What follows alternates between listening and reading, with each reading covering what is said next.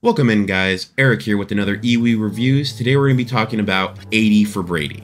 Uh, first off, this is a spoiler-free review, so I'm not going to be spoiling anything about the movie. However, I might make light or imply some stuff based on the fact that it's uh, from a Super Bowl that's already been played, and we know the results. So they do play when bringing in some of the stuff from the Super Bowl into the movie. I might imply some stuff, but don't worry. For the most part, this is spoiler-free.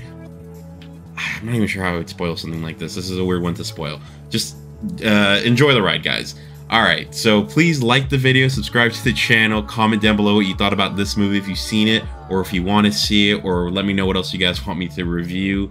Uh, first off, let's give you some info about this movie. So, like I said, this is a spoiler-free review. Release date, February 3rd, 2023. Uh, making his directorial theatrical movie, so his first movie direction director one. Um, Kyle Marvin. Uh, he's done some other stuff, been producer in a lot of things. He's also directed a show, but this is his first movie directed. Um, all right, moving on to the cast, we have Lily Tomlin, Jane Fonda, Rita Moreno, Sally Field, and of course, Tom Brady, the guy that it's all about, Tom Brady, with a runtime of 98 minutes. Um, all right, that's the basic info.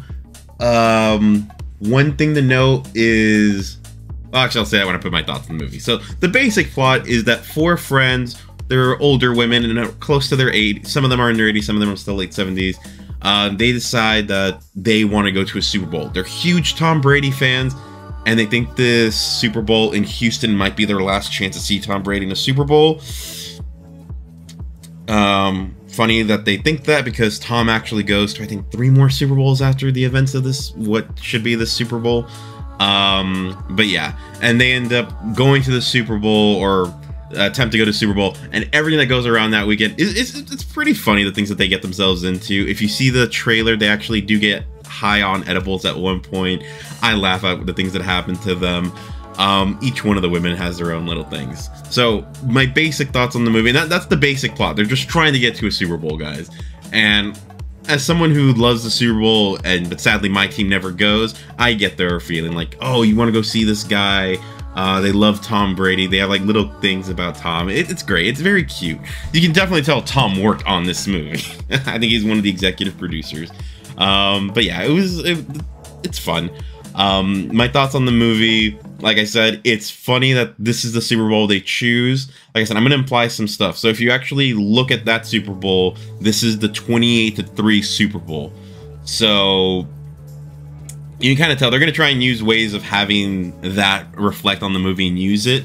And you wouldn't use the other Super Bowls because I want to say one of them's the ones after the after he won this Super Bowl. One of them he lost to the Eagles uh, another one he won against the Rams, his last Super Bowl as a Patriot. And the one with the Rams, even if that would have been his last one as a, even though that was his last one as a Patriot, the game was so boring that you couldn't really make a movie around it. And the one with the Buccaneers, they just beat the crap out of the Chiefs, if I'm not mistaken. So in reality, this was the last Super Bowl they could actually use as like a storytelling device because the game actually works great for like a storytelling element to it. Um, but you'll see that when you watch the movie. Um, other thoughts is I like the dynamic of the four women. You get this Golden Girls feel to it. I, I want to say the only problem I really have with it is that I think all four of these actresses they were overqualified for this position. They all have this this subtle way of being able to make these comedic moments work, and it works with all of them. I'm not sure how they did it. Uh, it, it felt like they um, the women really brought this movie together. When you see some of the supporting cast, they probably don't do as great of a job as the women do, but they do such a good job that I just want to see what next thing are they going to get into. Um, they have like each one has a different player. Like one of them's in love with Gronk and even writes uh, fan fiction with Gronk. Um, and yeah, little things here and there. Each one has like their own little dynamics. Like Sally Field's character, she's the brains of the operation. Lily Tomlin's character, she is like the leader of the group. Jane Fonda is like the flirt of the group, the one that like gets with guys and stuff like that. It has like a Sex in the um, Sex in the City vibe a little bit to it and Rita Moreno, she's like the wild card. You never know what she's gonna get herself into.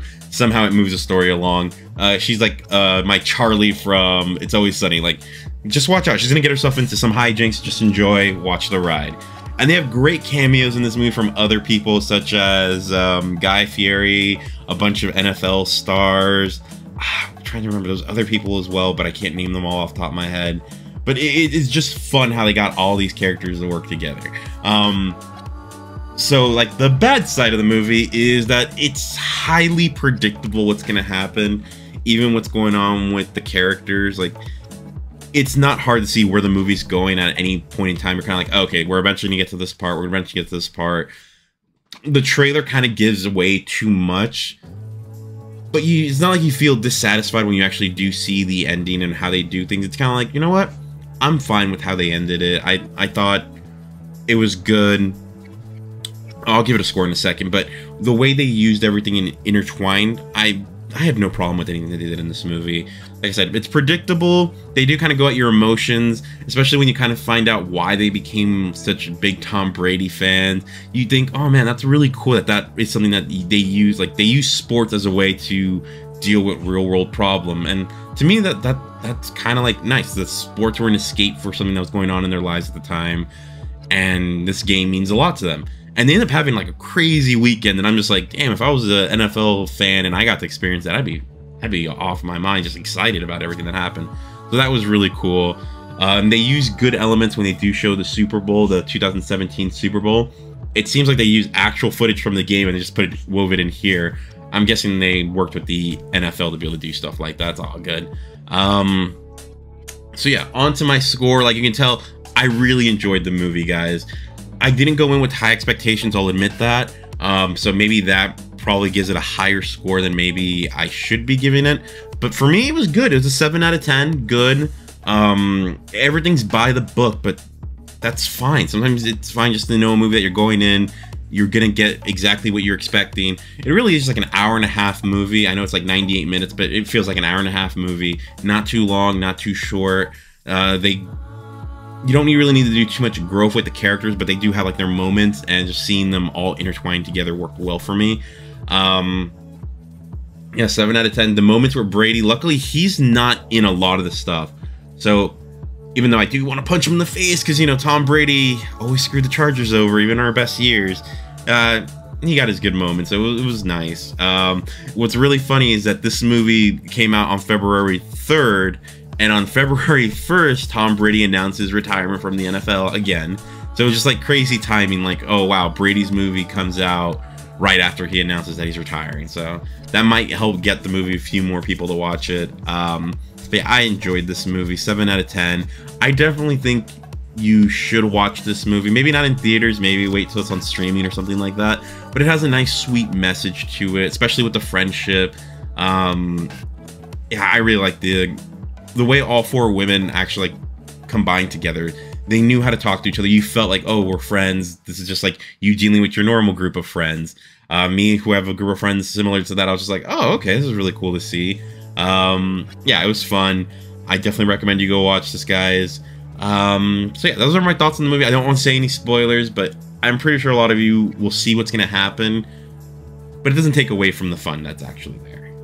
Um, all right, my next review for a new movie, I'm not sure right now. I kind of want to go watch the new Magic Mike movie when it comes out. I've seen the other two, so now it's just like, you know what, screw it. Let's just see what crazy things they're doing now. Um, but yeah, other than that, uh, please check out some of my other reviews that I just had. I had a review for House Party. If you guys want to see me tear into a movie, that's the one to watch. Usually I'm very nice in a lot of these reviews. I could not be that nice to that movie. Um, all right, guys, please like this video, share this video, subscribe to the channel, and comment down below what you guys thought about this movie or any other movie you guys want me to review. Um, but thanks a lot, guys. Um, I'll talk to you guys soon. See ya.